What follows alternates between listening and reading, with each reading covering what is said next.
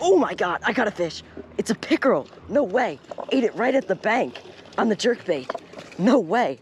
Oh my God. This little pickerel absolutely destroyed the bait at the bank. That was a vicious strike from this pickerel. All right, guys, first fish of the day on the jerk bait. Nice little pickerel right there. Been fishing the jerk bait for a little bit, decided to switch up to a slightly bigger size to get it a little bit deeper. And this dude absolutely destroyed, oh, there he goes. He absolutely destroyed it right at the bank.